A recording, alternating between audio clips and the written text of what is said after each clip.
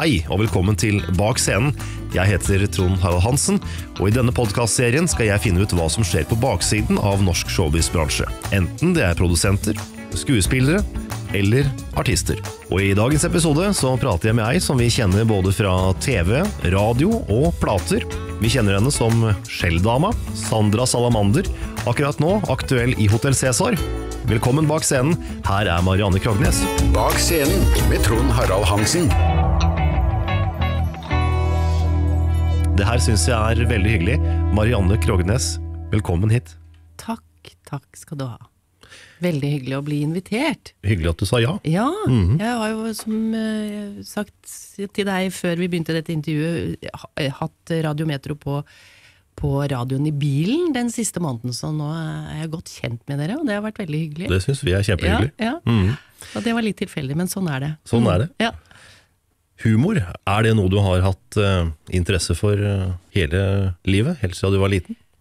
Ja, det tror jeg nok, fordi øh, vi, Jeg er vokst opp med Prøysen, ikke sant. Og der, der er det alltid noe å hente I hver eneste låt så er det nesten alltid sånn at han spiller på noe som er veldig humoristisk, og så noe som er sånn at du får i hvert fall når du er blitt voksen.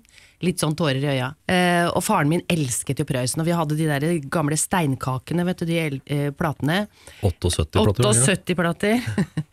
med ha, på Hamar med slakt og, og danse dansedokka mi. Kom ut av kjerring, så tar vi en dans. Tralala, tralala. Nei, men Anders, det er jo fra samling og sans. Tralalalala. Ikke sant? Sånne ting har jeg vokst opp med. Og, og jeg kan ennå, så lenge siden faren min døde, høre latteren hans liksom, når han uh, syntes noe var morsomt. Uh, han var jo også en ganske sånn uh, eh, eh, grublende kar, liksom, men, men eh, jeg tror nok det er eh, noe som jeg har hatt med meg helt fra starten av. Ja. Så hadde jeg en farmor som vi var veldig veldig glad i, alle vi 19 barnebarna. Eh, som var nok litt sånn Både faren min og farmoren min var litt sånn show, altså sånn showere, på en måte.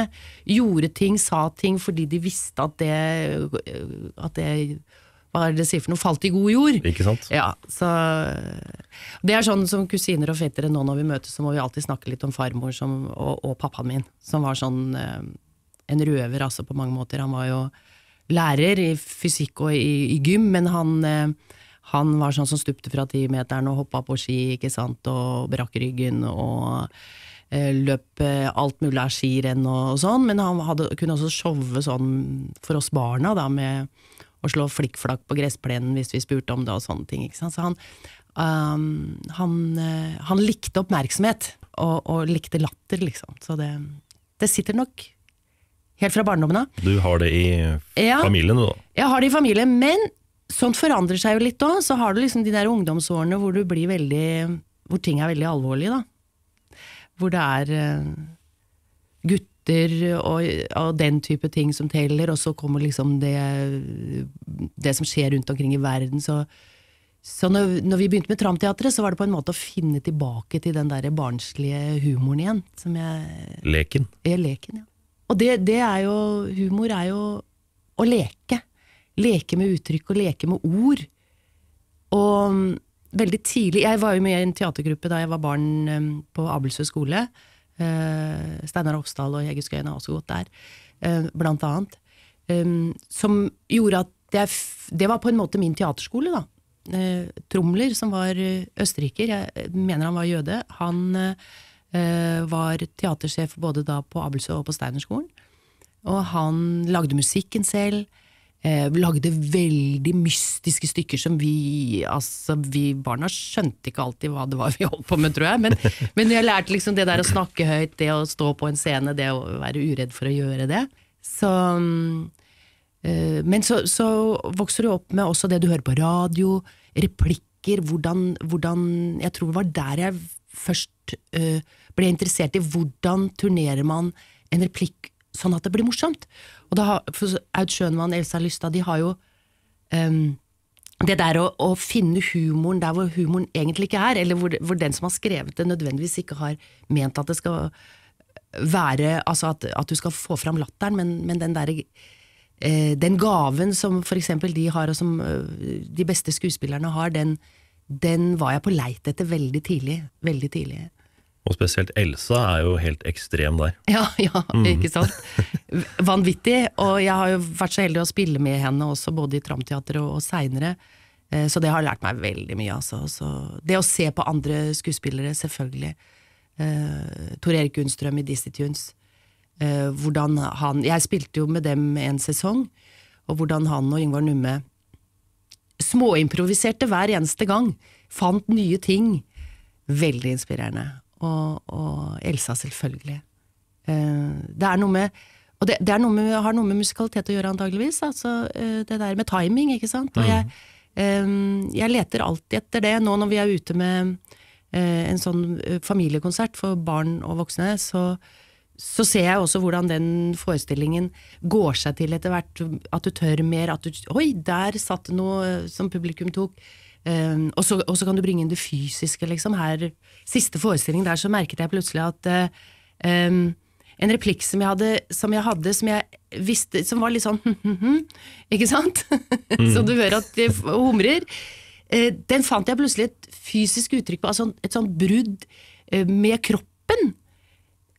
Hvor, hvor, jeg egentlig var lei meg for jeg hadde, gjort, hadde stjålet noe og var lei for det, liksom, og så synker litt sammen, og så plutselig så retter jeg meg opp, og så rettferdiggjør jeg meg selv. Og da kom liksom den ordentlige latteren, hvis du skjønner. Så jeg, ok, det må jeg holde på.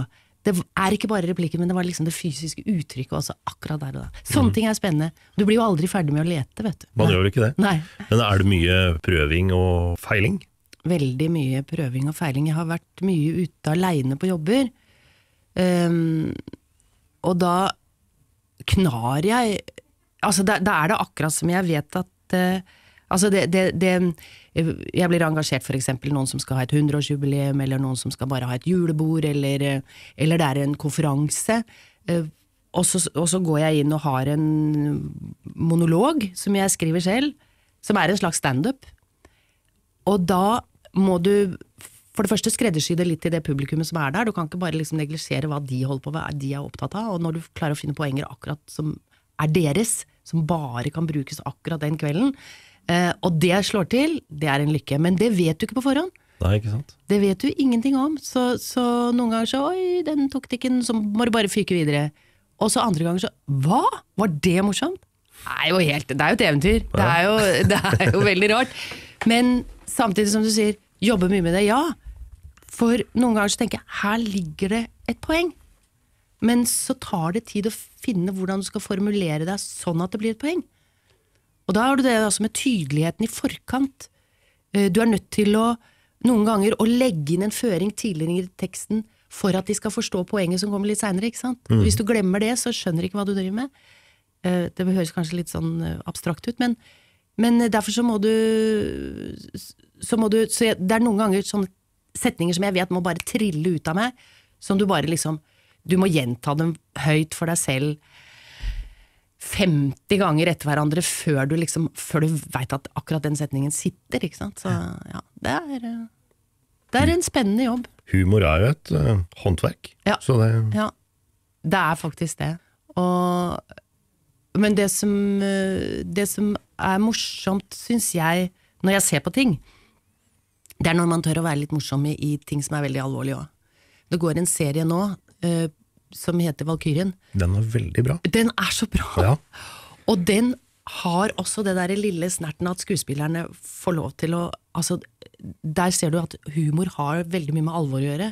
Det er det der å ta den absurde situasjonen der på alvor. Det gjør også at du får noen komiske situasjoner, veldig komiske situasjoner. Mm. Det er så deilig, for da blir det så ekte! Det er jo sånn livet er! Ja, det er jo det. Ikke sant? Det, ja, og det der å lete etter humor i hverdagen også, det er en fin øvelse som alle kan gjøre. Prøve å snu det til noe morsomt hvis det er litt sånn tragisk. Mm. Hverdagshumor, ja. rett og slett. Rett og slett hverdagshumor. Mm. Det kan redde mange situasjoner. Og hvis du da har noen som du kan leke med som, som også er Som også skjønner hva også du skjønner mener. Det, ja. det kan bli stille, det. Ja. Du spurte om eh, det du har vokst opp med. Jeg, tr jeg tror nok eh, det som humorister har felles, eller klarer å innarbeide seg, kanskje også fordi de har opplevd ting som ikke har vært så veldig gøy i barndommen, så, så er det det der å, å se litt large på livet. Å være litt eh, nonsjalant, rett og slett.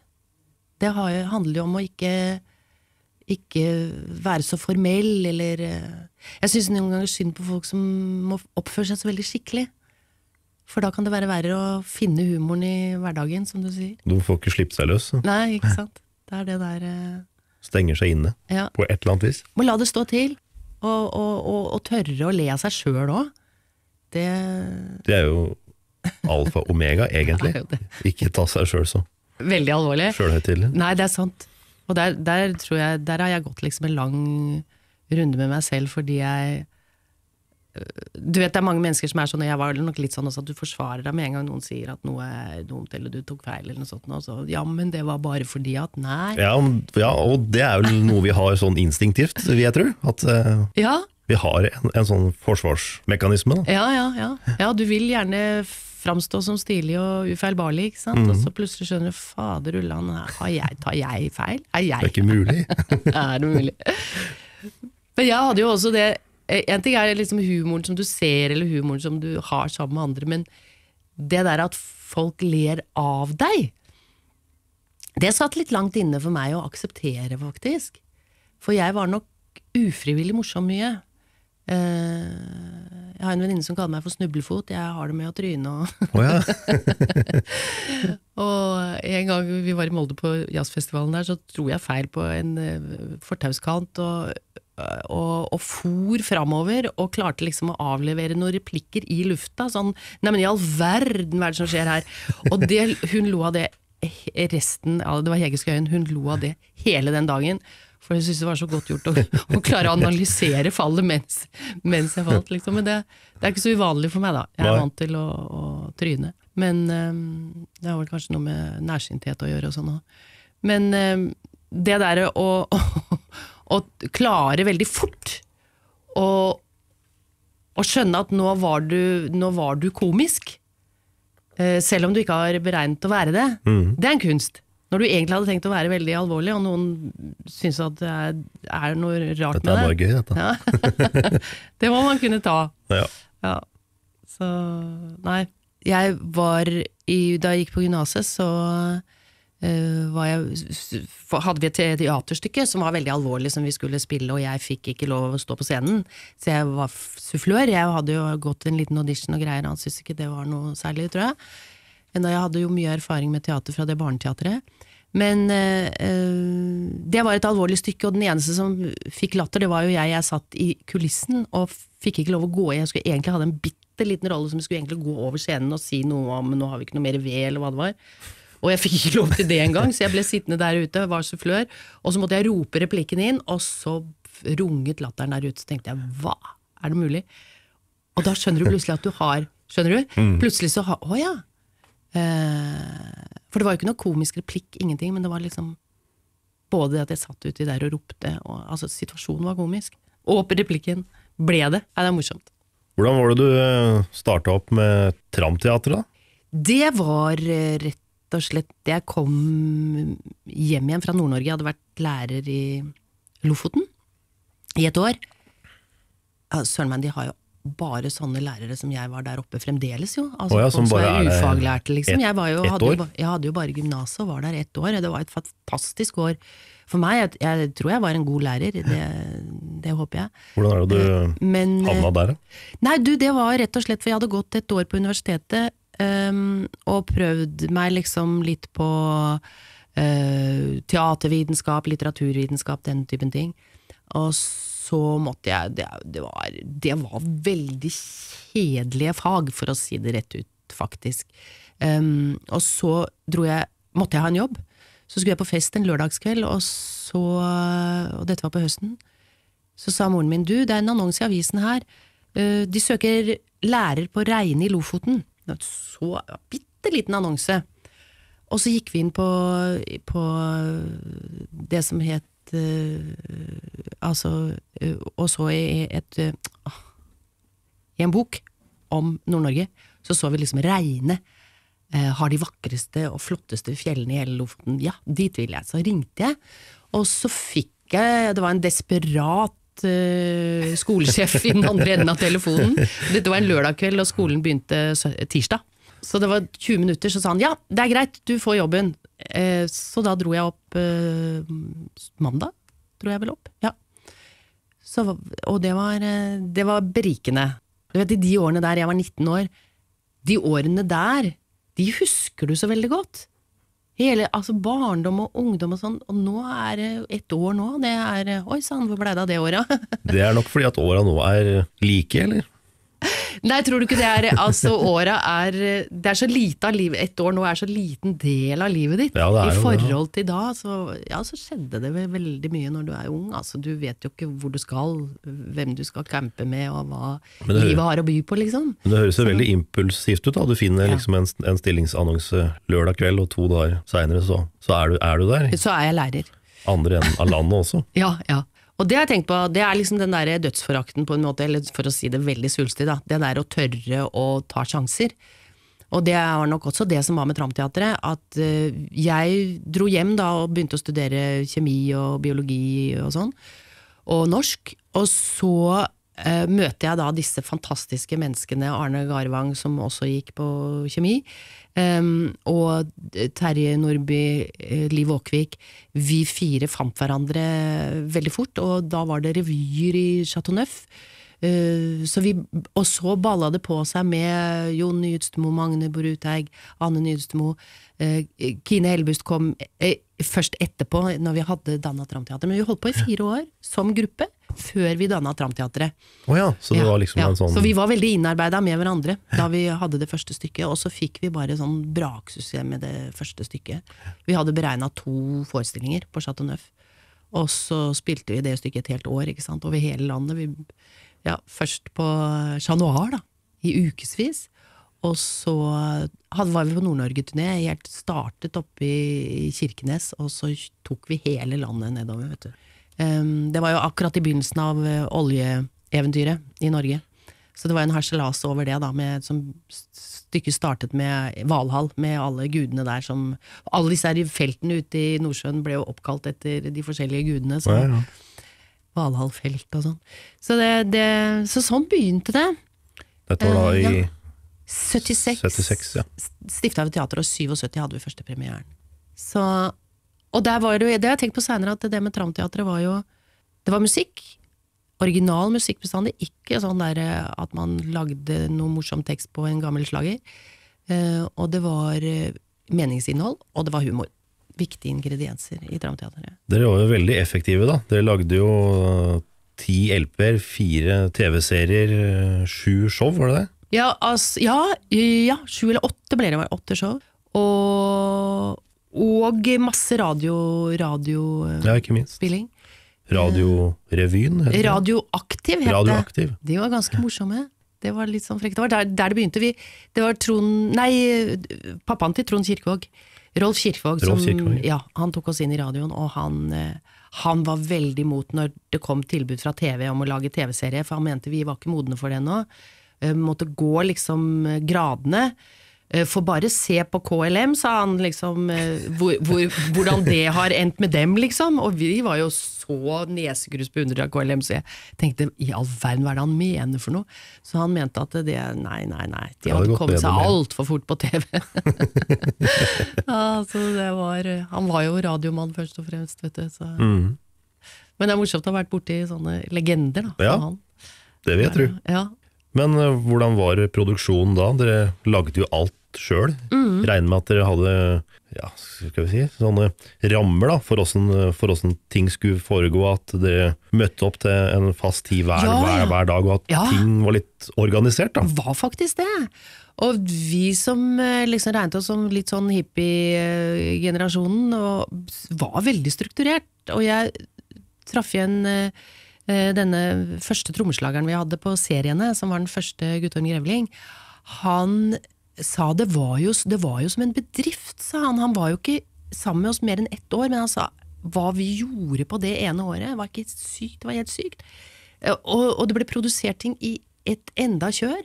Uh, og på somrene så var vi jo ute på, på sånne spillinger på festivaler og sånn, ikke sant. Um, og så tenkte jeg ja, altså, vi hadde liksom et kontor. Vi hadde to kontordamer som satt der, eller kontordamer, det er stygt å si det, men altså to ansatte som, la opp turneer, hadde med økonomien å gjøre.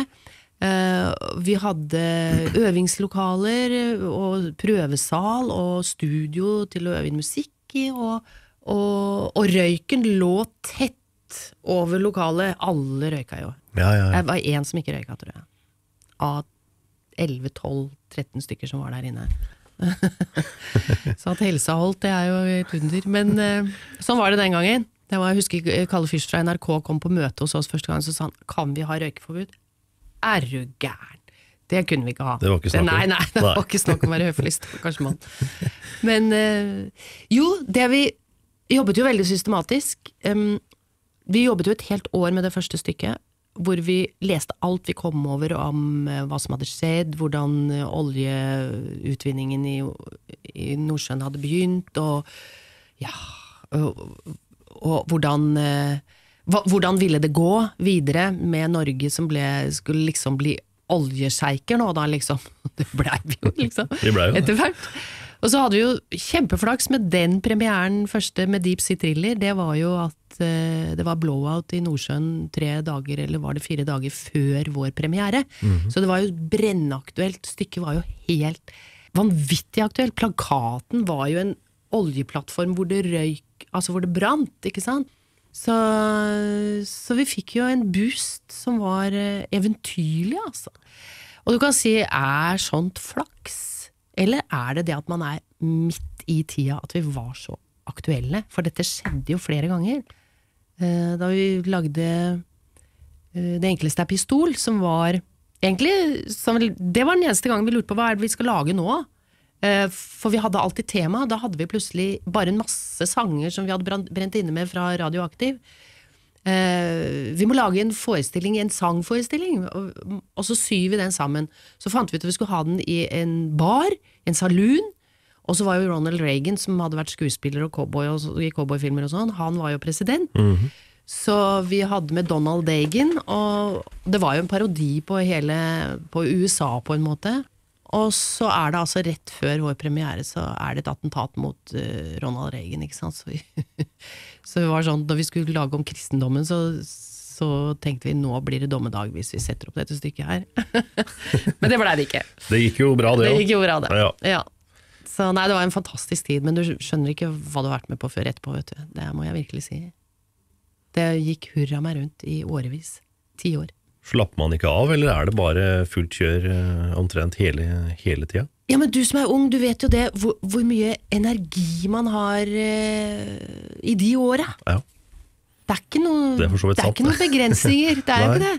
Du, kan- du kan Du får til det du vil. Du får til det du vil. Du har jo en arbeidskapasitet som du aldri får igjen seinere i livet. Mm.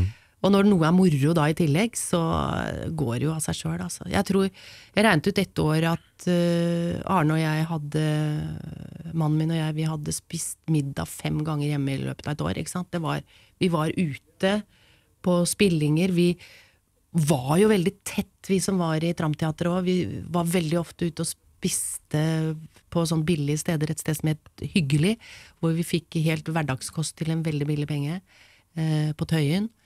Og ja, vi var, eh, vi var som en stor familie, og det føler jeg egentlig fremdeles. Altså, at vi, Selv om vi ikke har så mye med hverandre å gjøre nå, så er det liksom slektningene mine, på en måte. Det høres jo ut som en eh, familie. Det, vi kjente jo hverandre godt, og vi hadde eh, Måten vi jobba på, det er jo også interessant. Det var ingen leder i Tramteatret, men vi hadde Terje som skrev tekstene, og vi hadde Arne og Anders som skrev musikken. Eh, ellers så var alle likeverdige i skapelsesprosessen, som var blomstringsmøter som vi hadde det. Blomsterspråk snakker han Eirik Jensen Ja, ikke sant? Ja. All, all, Ja. Allerede der var dere tidlig Der ute. var vi tidlig ute. Ja, det kan du si. Uh, og det var sånn Vi har et tema som vi syns er morsomt, det skal vi lage noe om. Eh, Back to the 80s, for eksempel, om nostalgien. Nå kommer høyrebølgen, liksom. Hvordan, og så lagde vi et stykke som var liksom å se tilbake på 80-tallet. Og det lagde vi i 79, ikke sant? Så det var eh, Back to the 80s i forkant av 80s. Um, og da sitter vi og røyker og røyker og røyker, og bare kaster ball i Fra ti til fire hver dag. I hele den prosessen som er eh, skriveprosessen. da. Så skriver Terje ut noen sanger og noen greier, og kommer tilbake. 'Fader Ulland, det er bra, Terje, men hvorfor kan du ikke ta med det?' 'Nei, det er ikke bra nok', og sånn, ikke sant. Kasta sånn fram og tilbake. Eh, så det var jo veldig bra for han òg, å ha et så, kritisk team, da, og sånn hele tiden prøve ut måten han skrev ting på. Så kunne vi gi han liksom føringer, det sånn og sånn må det være. Så kom han tilbake med noe han selv syns var bedre, og så godtok vi det. Ja. Så det var en veldig kreativ eh, prosess, og vi var avhengige av hverandre, egentlig. Alle de rare innspillene var lov å si akkurat hva du ville. Eh, altså Sånn som man snakker litt om nå, at eh, ikke steng unna meninger som du ikke er enig i. Eh, også i det offentlige rom, når det gjelder politikk og sånn. Der var vi helt fri til å si, komme med fordommene våre og bli motsagt og Ikke sant? Så ble det en sånn ordentlig sånn smeltedigel av eh, Ja. Av det vi kom fram til. Så der blir det ikke én pluss én to. Det blir så mye, mye større, ikke sant. Når, du er, når du samarbeider godt med noen, så blir det svært. Det var eh, lite uvennskap, da. Ja, det var det. Uh, absolutt. Fordi at vi fikk vel klort oss Altså fikk jo møtt hverandre i øh, kraftige diskusjoner og sånn. Eh, men det er klart, eh, ti år er nok kanskje en grense når man jobber så tett sammen sånn som vi gjorde, på hvordan Etter hvert så begynner man å tro at man skjønner hvorfor ting har vært en suksess. I, I starten så skjønner man ikke det. Man bare jobber, man bare jobber instinktivt. Eh, og med huet. Eh, og, så, og så funker det, og funker og funker. Og så tror jeg, det er sikkert mange ting som skjer, men så tror jeg faktisk at man begynner sånn Ja, men det gjorde vi sist, og da funka det. Og da begynner du å balle deg inn i at noen mener at det burde være sånn, og noen mener det, og så begynner det å bli eh, ikke uvennskap, men mots, motsetninger i gruppa. Og det som var fint med at vi hadde motsetninger i gruppa, var at det ble, ikke sant du holder 45 grader den veien, og jeg hadde 45 grader den veien, og så til sammen så går vi rett fram. Um, mens etter hvert så ble den prosessen vanskeligere kanskje å gjennomføre, så, så det var nok etter ti år. Det tror jeg vi alle sammen følte. Og så sitter du der etterpå og så tenker du Jeg vet ikke om du ser Benny Borg nå på hver gang vi møtes. Etter disse Tunes for hos oss, så sitter du der, og så er ingen interessert i deg som enkeltsolist, vet du. Og det opplevde nok eh, alle vi også. Du bare sitter Hallo, jeg var jo her, veldig berømt. Hvor er dere? Er det ingen som vil ha meg lenger? Veldig vanskelig situasjon. Det må jo være, altså. og det, det, det vil jeg nok tro er en veldig rar sak. Det er en rar situasjon. Og, det, og der skal du ha liksom stifta familie og skal leve av det, og, og eh, så da, da ser jeg også gudskjelov at jeg hadde den eh, utdannelsen i bakhånd som jeg visste at jeg kunne falle tilbake på. Eh, men det ble aldri nødvendig, heldigvis. da. Jeg fikk telefon fra Riksteatret, jeg, og var med i en forestilling om Hamsun. Spilte Marie Hamsun, tenkte jeg, fra Tramteatret, og så spille, er over, en nazist. og det var kjempe Det var jo helt fantastisk å få, få det tilbudet, og få det, og reise rundt med Kjell Stormoen og Astrid Folstad, sånne svære skuespillere på den tida. Ja. Det var uh, fantastisk uh, gøy.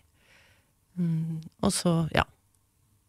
Og så gikk nå livet videre allikevel, da. Det gjorde jo det. Ja, det Ja. gjorde jo det. Men i 1980 så får uh, Tramteatret spørsmål om dere vil lage en TV-serie. Ja. Hvordan skjedde det? Jo, da jobbet vi jo med Rolf Kirkvaag uh, på- i radio. Og han ble helt forskrekket over dette bør dere ikke gjøre, for dere er ikke modne for TV ennå, dere må jobbe mye mer med radio først. Men det hørte jo selvfølgelig ikke vi på, gudskjelov. Um, så de kom fra barne- og ungdomsavdelingen og ville at vi skulle lage en serie.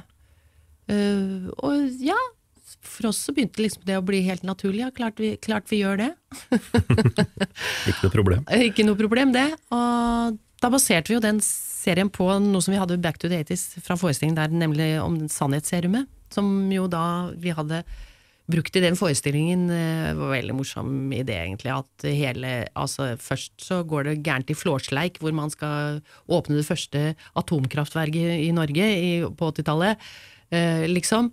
Og hvor ordføreren i Flåsleik, Kine Helbust skal åpne dette og har drukket av sannhetsserumet og plutselig sier ja, men dette er jo bare helt livsfarlig, dette kan vi ikke gjøre og sånn, så blir det full skandale.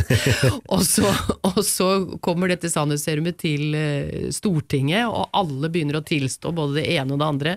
Og det ender jo med det, det huska jeg ikke, men det opptaket så jeg nå. Må bare gå inn og se på det. Eh, ligger faktisk ute Back to the 80s og på NRK. Oh, ja. Trond Kirkevåg eh, tok opp det. Eh, og Magne Bruteig, han er stortingspresident, og det hadde jeg helt glemt. Eh, så reiser han seg plutselig, når alle har kommet med tilståelser om at de er lesbiske, Kristelig Folkeparti er lesbiske, og, er ikke, og jeg bruker tupé, som er fra Høyre, og tror at alle folk stemmer Høyre fordi de tror at de blir rikere av det. Og Magne han reiser seg plutselig bak talerskolen, drar ned buksa og sier 'jeg, jeg er blotter', og så bare drar han på buksa. Og det brølet ute i salen du vet, Det skjedde før folk fikk eh, snurt for seg, så jeg tror ikke du klarer å se ordentlig hva som skjer engang, men det var jo sinnssykt morsomt. Så dette førte vi videre da til Serum Serum, til en sånn ungdomsgjeng. Gutta som spiller i band, og jentene som vil være med i bandet. Og jentene som eh, skal, prøver å finne noe som kan få gutta til å, å bli forelska i dem og sånn, og si sannheten. Og så blir det bare Nei, øh, eller hvordan det nå var. Ja. Eller blander jeg sammen med sånn ungdom som jeg seinere har hørt har lagd sannhetsserum hjemme og sprøyta på guttene i klassen, og, og sånn såpevann og hva det ikke var for noe, som gått- ble innkalt til rektor og sånn fordi de hadde tulla med det. Så det, det var jo et eventyr. Herregud. Hvordan var uh, mottagelsen på det her? da? Det var vel aldri lagd noe lignende før? Nei, det tror jeg ikke. Det var jo så rare kostymer òg, eh, syns folk den gangen. Eh, Første reaksjonen jeg fikk sammen med Arne Garvang, det var at vi gikk på ski søndagen etter. Så kom det tre gutter sånn i 10-12-årsalderen, midt i målgruppa, og bare stopper oss og sier 'Var det dere som var på TV i går?' Og vi liksom Ja, det stemmer det. Det er det verste jeg har sett, sa en av dem. Og så gikk de, og så tenkte jeg nei, hva har vi gjort? Hva har vi gjort? Har vi driti oss ut for hele Norge? Ødelagt og det var den eneste reaksjonen som var sånn, ikke sant? Det var den første reaksjonen vi fikk. Ellers så ble det jo helt fantastisk mottatt. Eh, Det var jo én kanal.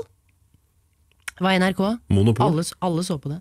Og gikk rett før, før Dagsrevyen, ikke sant? så alle voksne fikk det med seg. Og det er veldig morsomt nå å møte ungdom, ungdom, folk i 40-årsalderen, som har fått, fikk med seg dette når de var barn. Det er, det er veldig hyggelig, og det skjer hele tiden. Så, og da får du høre sånne historier. Jeg lagde sannhetsserum, ble kalt inn til rektor fordi jeg ja.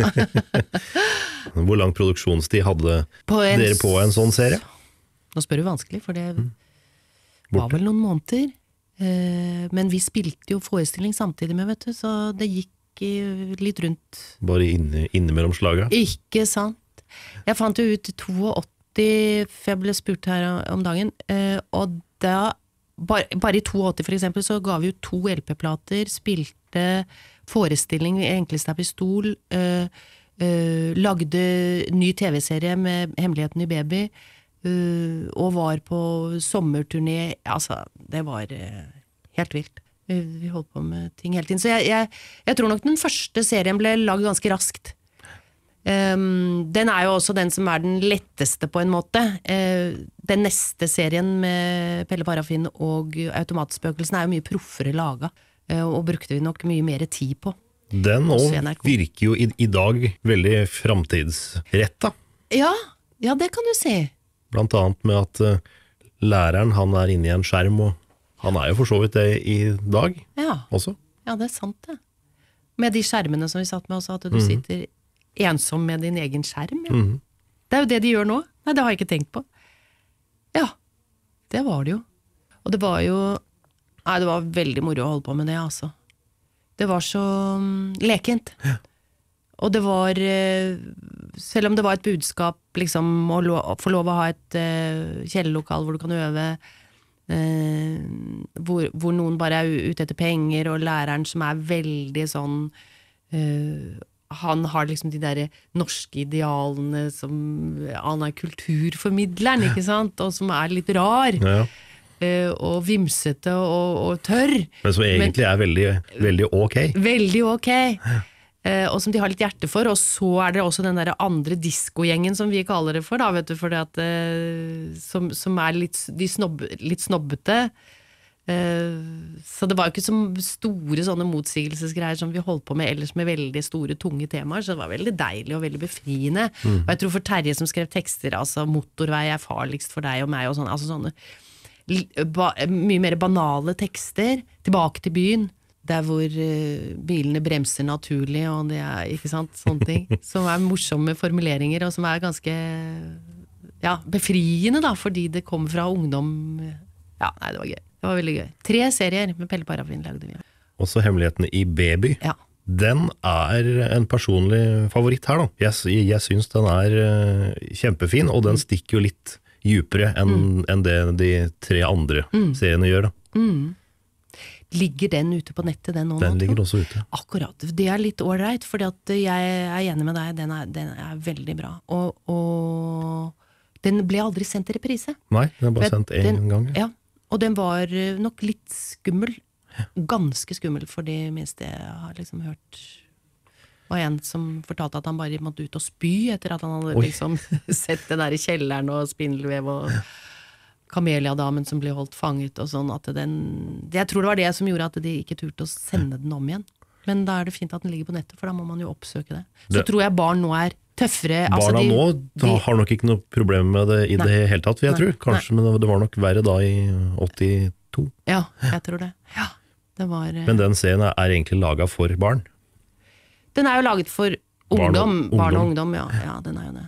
Men den, den er fin, jeg er enig i det. Altså. Og så har du det der jazzlaget der som bare sta han derre trommisen som bare snakker i sånne gåter. Ja, Du sånn- skjønner ikke noe, noen ting av, av hva de egentlig mener.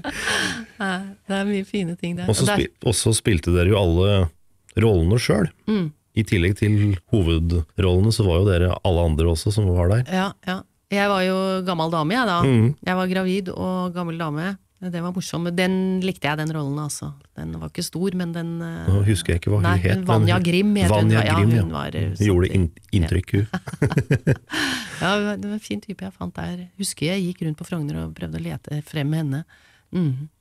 Så selv om det er sånn det, var veldig marginal, min innsats i den serien, så likte jeg veldig godt den lille rollen der. Altså, jeg gjorde det. Så ja, det er fin, fin serie. Absolutt. Men alle innspillinger foregikk i, i studio hos NRK, eller? Ja, I hvert fall innendørs. Innendørs, ja. Og så var vi på Kampen, da. Og Kampen var jo Da husker jeg Arne ble nesten drept av en fyr oppe på fjellet som var eh, næringslivs... eh, Han bodde på Kampen og mente at vi hadde økt prisene på Kampen med den serien.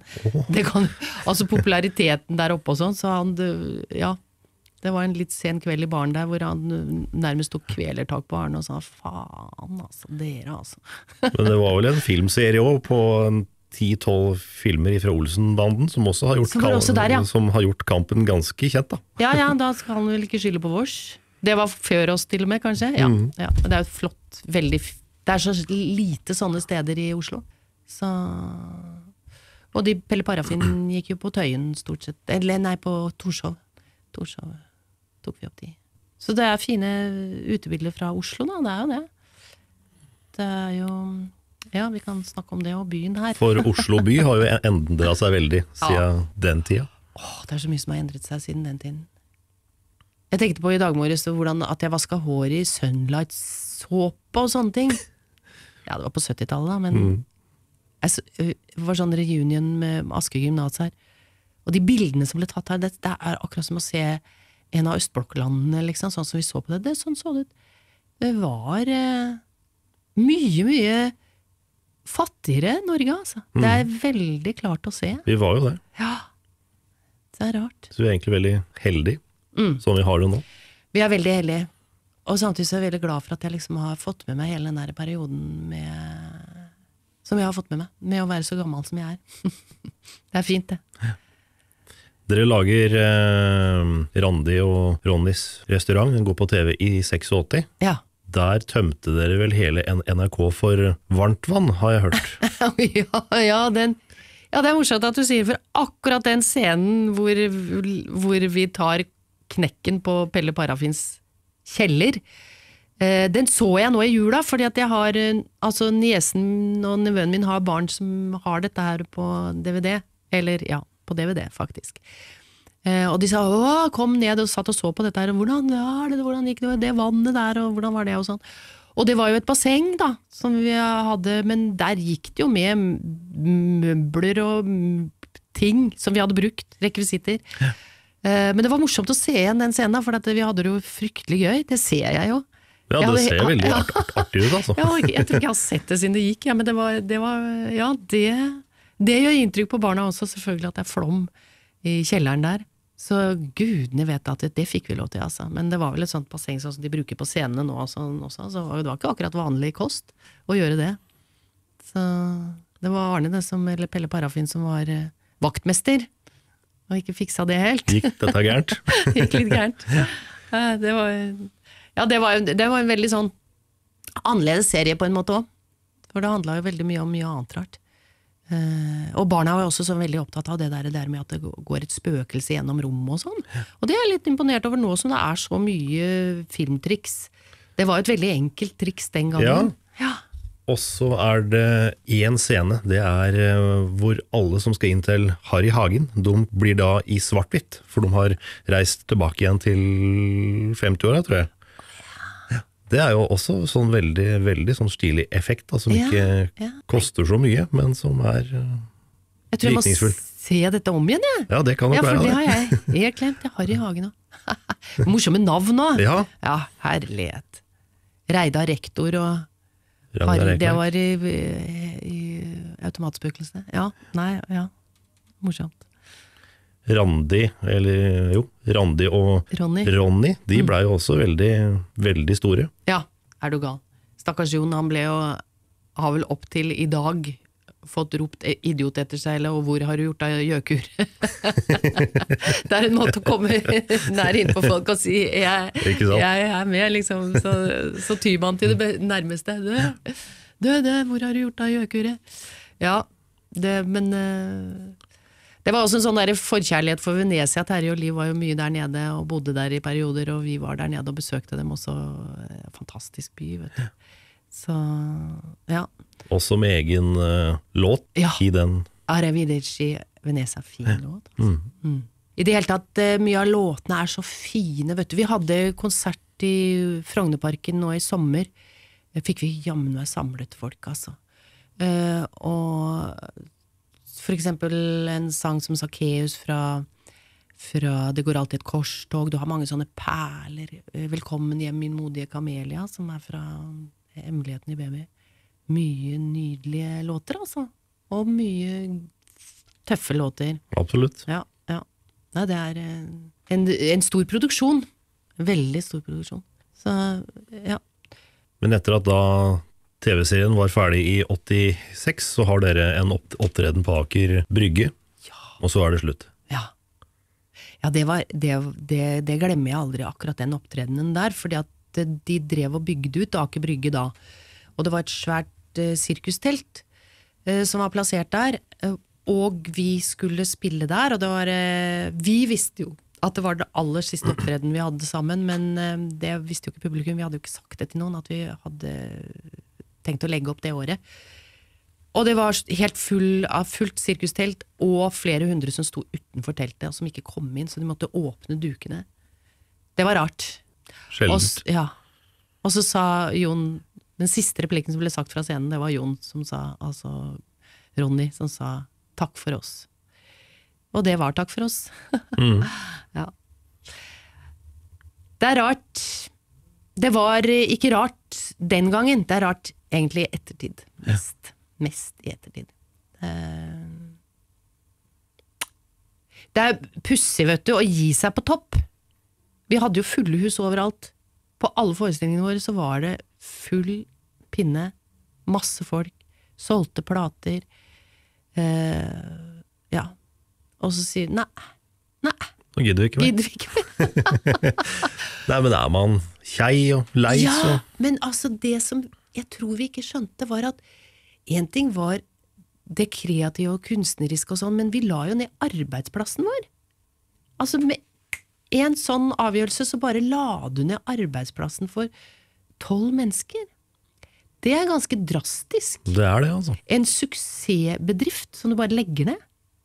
Så du ser det nå sånn i etterkant. Hvordan folk sliter for å komme i mediebildet, f.eks. i vår bransje, hvor tøft det er for de unge i dag.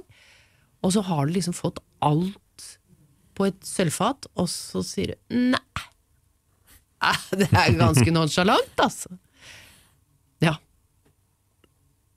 Det er vel sånne tanker som vi alle sammen har gjort oss i det ettertid. Altså, kanskje det kunne vært en annen utgang på det. Eh, Eller altså, ja, gjort det på en annen måte. Men sånn er det nå. Sånn er det. Sånn er livet. Skjedd er skjedd. Skjedd er skjedd. Og så skjer det jo andre ting da i livet som eh, gjør at man eh, er glad for å ha opplevd det òg. Absolutt. Jeg vil jo si det. For eh, jeg tror det var nok. Da var det nok. Så Dere har jo hatt uh, reunier i ettertid som har gått veldig bra. ja, vi har jo det. Og det har vært litt sånn press utenifra for å gjøre det. Så, og vi hadde jo en, det var jo noen som ville lage da teater, nei, hva heter det for noe, radiodokumentar om Tramteatret i 2009, var det det? Hvor vi eh, lagde en helt ny sang om hvor alle sammen var havna igjen. Og Sandra Salaman, det var jo da i Oslo Wikileaks. og litt sånn forskjellig hvor de andre hadde havnet, nå husker jeg ikke helt. Men det ble en morsom låt, så vi hadde en liten opptreden da i Chateau Neuf. Hvor det satt eh, nesten 1000 mennesker og hørte på radio. Og så hadde vi en liten konsert. Stilig. Ja, det var stilig. Ja. Litt sånn rare ting. Og nå er det fremdeles eh, en eh, utstilling på museet, Teatermuseet på, i Frognerparken, hvor vi har et eget rom. Med alle våre plakater og ting og tang og ja, der går det an. Og dere solgte vel også alt utstyret deres? Dere, både kostymer og klær og alt? eh. Ja, det var jo også en spontan og litt uh, hasardiøs ting, egentlig. For der gikk jo min gulldrakt og Anders Rogg sin regnfrakk med note på, det gikk jo av gårde. Jeg husker en lys pike som bare for av gårde med gulldrakten min, som hun sikkert fikk for en billig penge. Vi hadde, hadde mm, salg i, i lokalene våre på Tøyen. Ja, sånn var det. Kunne jo tatt vare på noe, kanskje. ja. Men etter det her, da, så går det noen år, og så blir du veldig kjent som hun som jobber på Skjell. Ja. Skjell-dama. ja. Hvordan oppsto det? Det var jo så merkelig greie. Det var eh, Ivar Væreide, som har jo stått for masse sånn gode reklamer seinere. Blant annet VG-reklame og, og eh, Lotto-millionærer er ikke som andre millionærer, men det han nest, altså, på en måte slo gjennom i reklamebransjen, var nok de Shell-reklamene. Han kom til meg og spurte om det, om vi kunne lage radioreklame. Og jeg, akkurat på det tidspunktet, da hadde jeg jo vært eh, på Riksteatret i to sesonger. Og hadde ikke noe tilbud, og jeg satt egentlig hjemme og så, så på telefonen og tenkte nå må den ringe snart, for nå skjer det ingenting. Og så ringte Ivar og spurte om jeg kunne tenke meg det. Og så lagde vi noen radioreklamer, da. Som fikk eh, veldig oppmerksomhet. Og så øh, ville selv så lurte de på om, de, om vi kunne lage TV-reklame. Så jeg ikke tale om. Det vil jeg ikke. Det gjør jeg ikke. Uh, og hvor lenge jeg holdt på det, det var vel ikke så veldig lenge, for når sommeren kom, så hadde jeg tjent 50 000, tror jeg, det året. Litt lite. Og da sa jeg du, de reklamene for TV, hvordan var det igjen? Uh, og så fyrte vi opp og lagde 13 reklamer vel i løpet av sommeren. Som skulle sendes da eh, over jul, over nyttår, tror jeg det var det skulle sendes. Men så var det masse internt bråk også øverst i Shell eh, fordi de var redd for at dette ble sånn negativ reklame. Fordi hun står hun står jo ikke på en Shell-stasjon, hun står på en stasjon som ikke er Shell, og sier hvis du skal ha service, så får du gå til Shell, for det har vi ikke her, ikke sant, og de og de produktene har ikke vi. Eh, og, det, og det hun står jo der så ensom eh, eh, og gjør reklame for diverse ting som var sånn akkurat den uka og den måneden. Blant annet vindusviskere, som var den første reklamen som gikk, tror jeg. Og hun står jo der, og vi hadde tekst å forholde oss til, som Ivar hadde skrevet, og den måtte jeg kna og gjøre til min egen. Og så, under opptak, så kom det som regel Så hadde jeg sånne etterslengere. Når liksom, for hun står jo der helt aleine og kjeder seg jo, og sier og skjeller ut altså, karakteristikker av alle som har vært innom, og han fyren som kom innom her og lurte på om vi hadde sjampo i bilvasken, liksom. Ja, det- hva slags eh, bil er det du har, da? Er det Ford Tupé, eller? Ikke sant? Sånn sa hun at hun hadde snakket med de som var innom. Og så står hun og kjeder seg litt, og så ser hun liksom bort på grillen, og der ligger det noen pølser, og så sier hun du, av og til så så syns jeg de der pølsene ser på meg, altså. Ikke sant? Det var sånne etterslinger som også var Som jeg fant på i farta. Så det var et veldig sånn skaperverk med meg og Ivar. Det var veldig avgjørende at det var meg som gjorde det, det, det er jeg helt sikker på. Men uh, dette var jo da Jeg fikk mine kroner den sommeren og håpet at det aldri skulle sendes på TV. Jeg var helt livredd for Da må man forstå at reklame den gangen, det gjorde man ikke hvis man var et ordentlig menneske. Og for Shell var det liksom ekstra spooky å gjøre det. Eh, men jeg har tenkt på det i etterkant at det er liksom det som du sier, at det var litt sånn modig av meg å bare dra til Nord-Norge. Altså bare sånn veldig sånn Hva var det du kalte det? Altså sånn, ja, det er litt sånn Impulsivt. Impulsivt! Og dette var også på en måte sånn Nei, for pokker. Dette gjør jeg. Jeg vet at det er helt Det er ikke politisk korrekt på noen måte. Det gjør jeg. Eh, så jeg følte meg nok veldig modig òg. Og så sprang det jo altså som en sånn bombe. Det er det rareste jeg har vært med på. Altså jeg, eh, de skulle ikke sende den reklamen fordi Nei, de stoppet det. Vi sender den ikke. Men da hadde noen TV-stasjoner fått en sånn lokalstasjon i Drammen, tror jeg det var, oh, ja. som sendte den allikevel. Og så bare skjønte de at den Og det var jo ikke TV 2 hadde jo ikke begynt å sende ennå. Uh, så ja. Så da lå jeg og skalv under dyna, og telefonen ringte hele tiden. Og så stilte jeg opp til ett intervju, og så ringte det noen skulle ha et intervju til. Så jeg, nei, nå har jeg vært i avisen, jeg. Eller, dag, eller ukeblad, eller hva det var. Men det var jo ikke stopp, vet du. Så det var jo Men for meg så var det det jeg trodde var nå har jeg drept hele karrieren min. Dette er, nå er det ingen som vil ta i meg med ildtang. Det var ikke det som skjedde, vet du. Det var hele Humor-Norge ville ha tak i meg. Og NRK. Og TV3. Og TV2.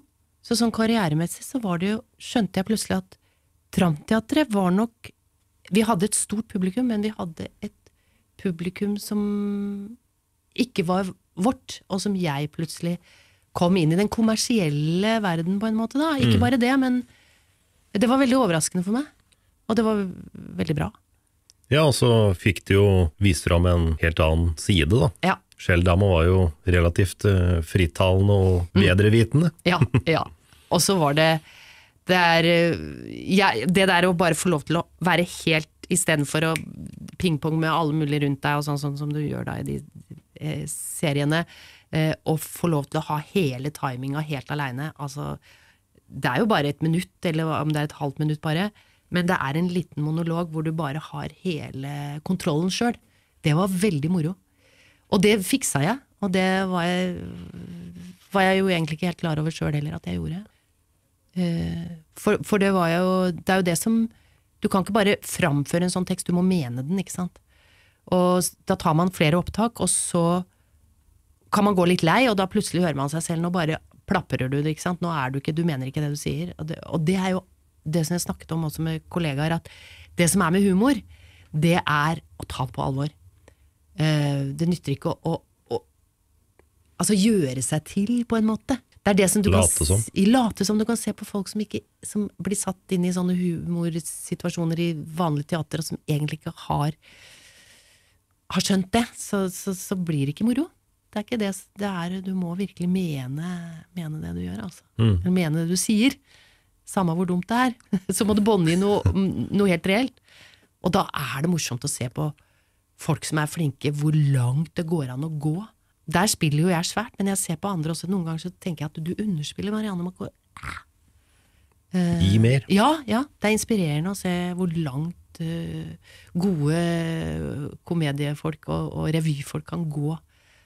Og det er eh, morsomt. Og da, da må det, det må være sant allikevel. Selv om det blir altfor mye.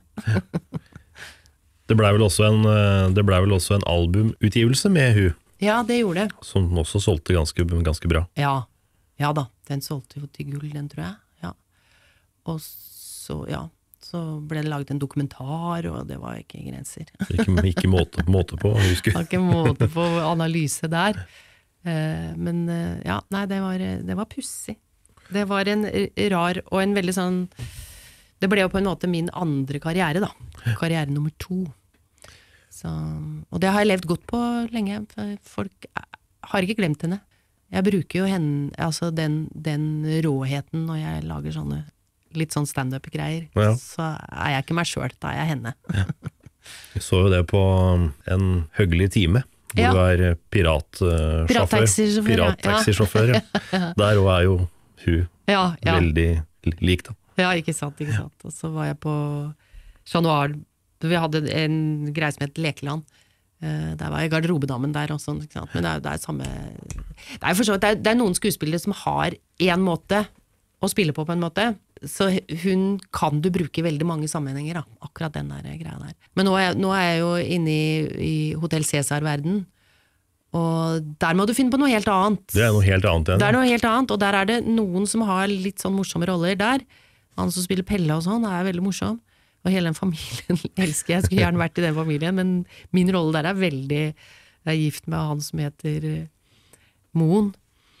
Eh, og Rasmus Moen, og det er eh, et par, altså, som er eh, businessfolk. Så det er noe annet. Og det har vært veldig morsomt.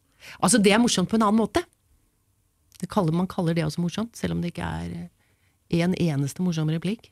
En helt annen utfordring, Helt altså, da utfordring. sikkert. Ja. Hvordan er det du, du havna i Cæsar? Nei, det var rett og slett bare jeg fikk en telefon om å komme til audition, da. Og så I fjor på den tida. Og det, det var jo Det ble jeg veldig glad for.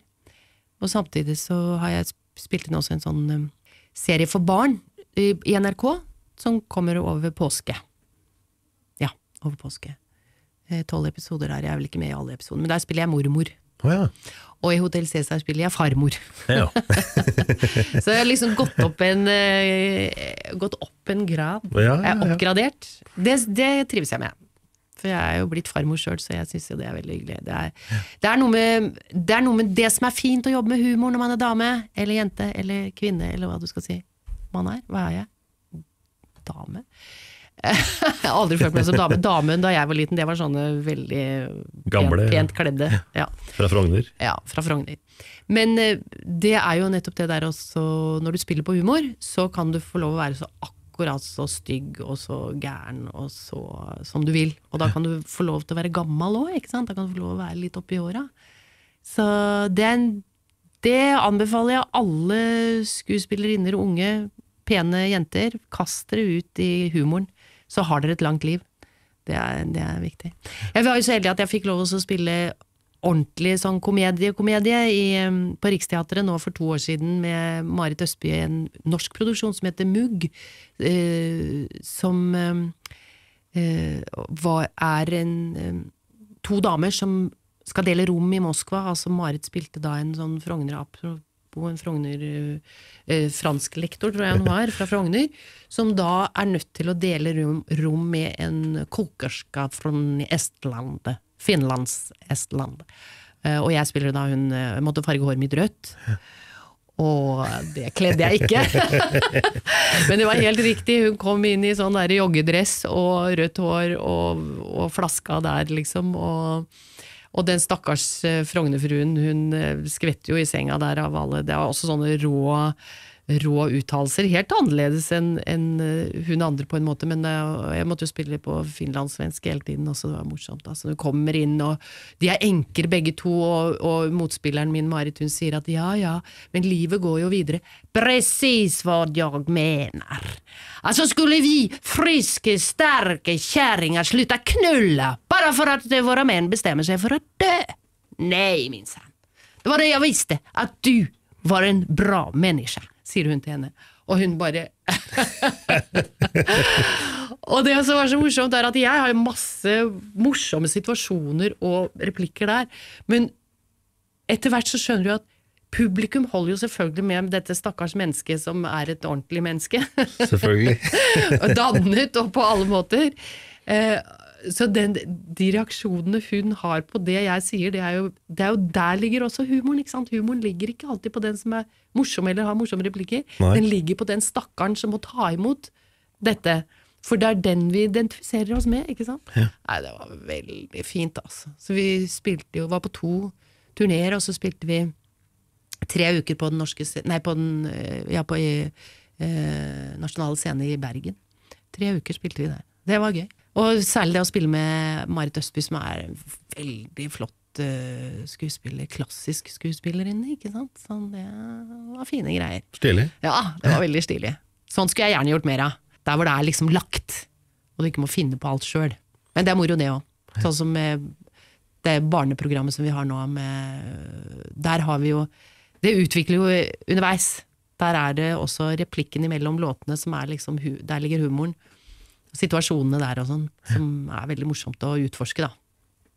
Det er det. Hvordan starta det? Det starta vel med at eh, vi Jeg hadde en platekontrakt som jeg hadde ikke tenkt å gjøre noe med, men så hadde det vist seg at vi hadde fått noe penger til å lage en ny plate, barneplate. Jeg hadde lagd en barneplate før. Så kom Caroline Herlofsen inn i bildet, og hun sa det må vi jo gjøre. Så begynte hun og jeg å skrive tekster. Jeg hadde en del tekster fra før, og så skrev vi en del tekster sammen. Og så hjalp hun meg med å spille inn den plata. Og så fant vi ut at vi Da hadde vi jobba såpass mye sammen at vi kalte oss At vi skulle kalle oss noe. Vi, når vi, lagde barn, vi skulle lage barneplate nummer to, og hadde fått penger til det, så kalte vi oss Molly og partner. Jeg er Molly, og hun er partner, da. Og så eh, Så var det Det var, ble veldig fruktbart. Det er blitt veldig fruktbart, det samarbeidet vi har. Eh, så det endte med at vi setter begge, begges navn på alle låtene, selv om noen låter har hun skrevet, noen har jeg skrevet. Og så gjør vi sånn som Beatles gjorde, at det er Len McCartney, står det hos oss òg. Nesten, da. og så, ja, for, for det er en fin måte å jobbe på. Og så, for da kan vi blande oss inn i hverandres tekster uten å ha noen føringer på at eh, å, du får ikke lov å røre min tekst. Og så får vi komponister utenfra til å sette melodier. Og der har vi jobbet masse med nye folk også. Eirik Myhr, som er en fantastisk komponist, som jeg ser har jobbet mange steder nå, så nå mister vi han nesten hvis vi ikke holder fast. Og, og flere andre også. Eh, Christian Steler, som er pianisten vår nå. Og så gamle busser som Arne Garvang og Lars Martin Myhre og sånne folk som har laget av Anders Krogh. Så det er gøy. Eh, og nå har det begynt å ta litt av, da. Med Molly og partner. Så, og der nok en gang har jeg liksom den litt uh, gærne dama. som syns ikke syns det er så farlig med noe som helst. Og som eh, lar, Gir seg ut på noe helt- helt ja, annet. Ja, som i grunnen legger eh, mye trøbbel i veien for partner, som prøver å holde litt orden på livet. Eh, Men så viser det seg veldig ofte at det er Molly som har det er hun som, Selv om hun har gjort noe dritdumt i begynnelsen, så ender det med at det- var veldig lurt allikevel. Sånne fine historier. Vi har laget ti episoder for radio også, fra Radio Super. Som går i reprise nå. For sjette gang eller noe, tror jeg. Ja. Du har jobba for flere generasjoner, da. Ja, ikke sant? Nå kommer en ny generasjon, da. Så får vi se hvor Håper jeg at det er en del som får dette med, med seg også. Så er jeg tilbake til det å gjøre ting for barn, da. Det, er- det liker jeg. Jeg har alltid Alltid hatt fascinasjon av barn. Fra jeg var barn selv, på en måte. De som var yngre enn meg. Og sånn. jeg, jeg, jeg, liker å, jeg liker dem. Det er ikke alle som er fortrolig med det å spille for barn, men jeg syns det er veldig moro. Er det mer takknemlig publikum, eller mer ærlig? På en måte ikke, for at altså eh, de som vi har er jo veldig små, noen av dem. De er tre år og oppover. eh, og jo eldre de er, jo mer takknemlig publikum er det, fordi da gir de lyd. Mens når de er så små, så, så danser de litt, og, og sånn. Det er gøy. Og klapper og, og sånn når vi får dem i gang. Og humoren ligger veldig mye for de eldre barna og for foreldrene. Men eh, barn liker jo også at foreldrene koser seg og har det hyggelig. Så det er en familiekonsert vi driver med, egentlig. Altså. Eh, også, men det som er med altså, Fascinasjonen er at de er i støpeskjeen, disse små, og du får så veldig hjerte for dem. Ja, både om Fordi det er, det er så viktig at vi ser barn. At man hører dem eh, når de snakker til deg. Det er så ofte jeg ser både foreldre og, og, og andre folk at de, de hører ikke hvor mye morsomt de sier. Mye, hvis, hvis man bare liksom tror at det er noe tøys som kommer derfra helt til de er ti år, så, så mister man så innmari mye. Ikke sant? Så det er så, det er så fint å, å høre liksom refleksjonene deres, og hva, hva de er opptatt av. Hva de Nei, også, også når du da hører barnelatter. Det er jo smelt, smelt, altså. du kan ikke oppleve noe mer eh, fantastisk enn barn som ler av hjertet, litt fra hjertet. Det, det er fantastisk. Helt ærlig. Ja, ja. Så det er takknemlig når det klaffer. Du må si noen ord om samarbeidet med KLM og Kirkevåg. Ja, det må jeg gjøre. Du vet, når vi begynte, fikk lov å lage Pelle Parafin-serier, så var jo de svære. Og øh, Så vi hadde jo de Inni en av våre serier også, så møter vi dem. Ja, stemmer det, stemmer det. Så det er også sånn veldig gøy. Så, så, og hele, de har jo preget liksom den humoren som eh, Sånn Monty Python-humoren, når den kom til Norge, så var jo de som sto for den. Eh, så det var svært.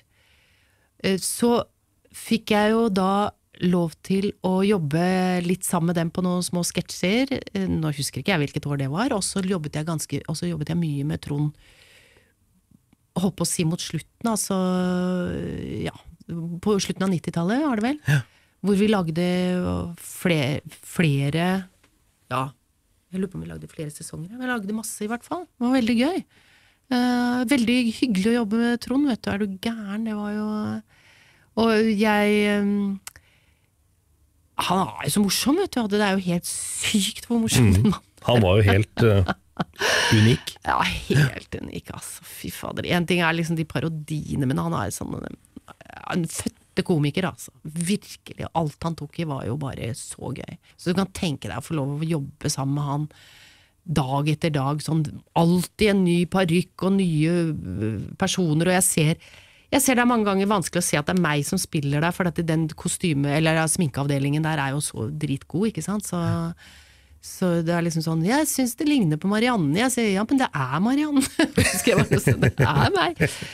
Eh, så det var veldig utfordrende og veldig gøy. Altså. Det var en morsom periode. Virkelig. Og Trond ja, sto meg ganske nært sånn personlig, syns jeg. Vi hadde noen jobber ute utenfor også.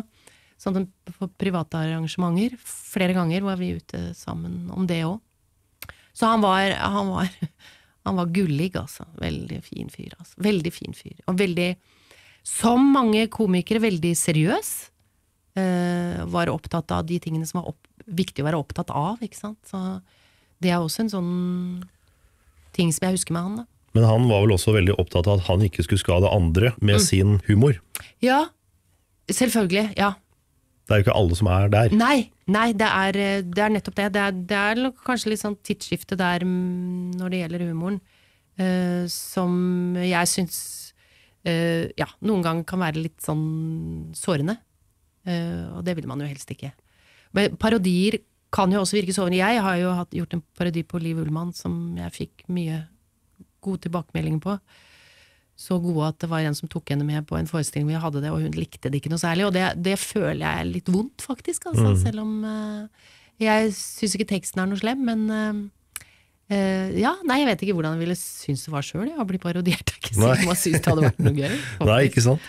Det, det, det er da man må liksom snu det som vi snakket med til å begynne med, og bare se ok, det er meg, jeg er ikke ufeilbarlig, gjør jeg virkelig sånn? Mm, ok. Sånn er det. Ja, ja.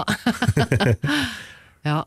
Nei, det, det Men humor skal jo liksom tøye litt grenser også, da. Og jeg syns jo det er mange av de nye som er veldig flinke, og samtidig så syns jeg det er eh, Det er rart å se også, det som ikke jeg skjønte i begynnelsen, er at eh, de har jo mye hjelp av folk som skriver tekster for dem, også alle disse standuperne, som jo gir seg ut for å gjøre alt sjøl. Jeg har nok vært litt i overkant opptatt av å gjøre ting sjøl, jeg vet ikke. Én ting er å gjøre en tekst som en annen har skrevet til din egen. Eh, Men det er jo mm, deilig også å få påfyll fra andre, at det er samarbeid, da. Hvor man kan finne de gode poengene. Så Det kan jo egentlig slå både opp og ned. Det. Enten så kan det bli mye, mye bedre, eller så kan det bli mye Dårligere. Ja, og så er det noe med det at eh, alle som har holdt på med revy, vet jo det at du kan ikke bare ta en revytekst og så bare gjøre den. Du er nødt til å noen ganger finne en humor som kanskje ikke er så åpenlyst i teksten. Det må jeg si. Det er, ikke, det er ikke det er ikke alltid gull det du får mellom hendene, men noen ganger er det jo det. Så, og da, men da må du prøve å gjøre gull ut av det, liksom. Og det er noen som er veldig, veldig flinke til det.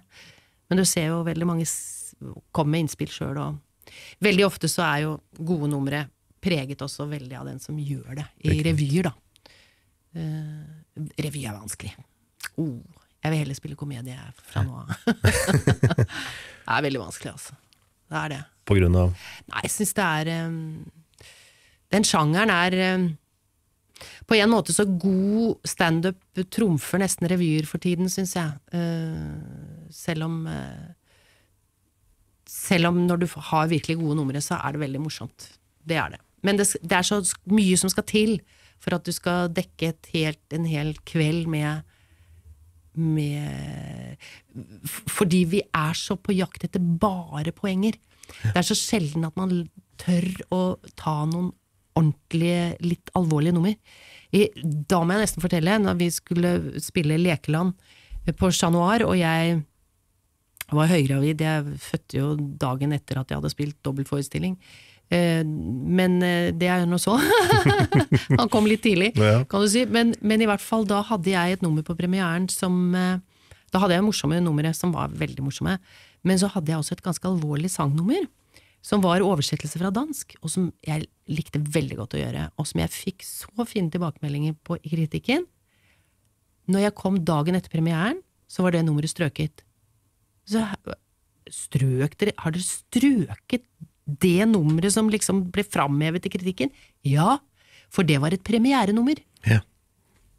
Velkjent. Det lærte jeg da. Det syns jeg var eh, merkelig. Ja, det er øh, Det var bare for å tilfredsstille rart. pressen, og så skulle ikke publikum få se det, for det var ikke, hadde ikke noe i en revy å gjøre. Det er, det er rart. veldig merkelig. Det er veldig merkelig. Så det var litt sånn bitter erfaring, syns jeg. Nei, men har jeg fått bris? Det har du. Vær så Tusen takk! Bare forsyn deg. Jeg elsker bris. Ja. Jeg hadde en, en i kjøleskapet her nå, det var en litt sånn flau bris, altså, så den måtte jeg bare helle ut. mm. Det var reklamen. Det var det. Produktplassering. Men det er én ting vi har glemt, og det er um, Dere har jo også gjort Grand Prix. Og kom på fjerdeplass. Det var da sammen med Finn Kalvik, Ja, Finn Finn som valgte vant det året. Aldri i livet. Ja, en fin låt, men han fikk null borti uti der, så det var jo synd. Jeg vet ikke om vi hadde fått noe mer, men for det var jo en, eh, en eh, som vanlig en ganske politisk rettet eh, låt, da. Det er vår tur nå. Men Grand Prix det var noe helt- annet igjen enn det dere vanligvis holdt på, holdt på med. Absolutt. Var det det greit, da? Nei, det var altså ja. Eh, altså, jeg syns jo det var litt morsomt, men det var jo Jeg ser jo på opptaket, vi er veldig alvorlige, det er ikke noe sånn spøk over det. men, men eh, Langt mellom smila. Ja, men det var akkurat en ny sånn tid hvor de inviterte artister til å være med, istedenfor at folk sendte inn og, og fikk godkjent eh, for å være med. Så vi tok jo den. Eh, og, eh, og ja, synes vi, vi lagde en fin låt, det var jo det som var viktig, da, men det var klart det var mange som syntes det var helt gæli. Det var ikke riktig å gjøre det. Det er, det er rart. Det, sånne skillelinjer var veldig åpenbare før. At det går an, og det går ikke an. Og sånn kan vi gjøre, og sånn kan vi ikke gjøre. Så det å være med i Grand Prix er jo sånn som det er mange som syns er morsomt nå i etterkant. Men eh, på den tida så var det sånn jo jo. Men eh, nå var jo Du får jo du får en ekstrem oppmerksomhet, da. Ja, du gjør det, vet du. du gjør det. Jeg hadde noen fine fletter også foran her, så jeg sa, du ser hva vi har på oss, det er noen poseklær som det er, men det var vel sånn det så ut den gangen. ja, det er rart å se, se hvordan vi Jo, så var jeg, og så var jeg, fikk jeg være konferansier for Spellemannsprisen i 85. Ja. Det var også en stor ære, da. En ordentlig sydd kjole spesielt til meg, og måtte gå ned en trapp i lang kjole Og da satt Arne foran TV-en og holdt på nesten å dø, for han tenkte nå snubler hun. Jeg sa det jo til deg, jeg er snublefot. Men jeg klarte å gå helt ned uten å snuble, det var veldig, veldig godt gjort. Men Spellemann da, det er, var noe helt annet enn Spellemann nå. Nå, jo, nå var det jo Spellemann nå Ja, på lørdag, ja, den ja. gikk jo ikke bra. Den har jo blitt slakta. Ja, jeg så bare Jeg var innom. Eh, og det var, det var liksom litt stussligere, syns jeg, på en måte. For det var litt sånn derre party, sånn stå på gulvet der og sånn Litt prating underveis når folk skulle introdusere ting og sånn. Det var liksom ikke den høytiden over det, kanskje. De bør prøve å finne den igjen. Kanskje. Jeg vet ikke. Jeg så jo ikke hele programmet, jeg, altså.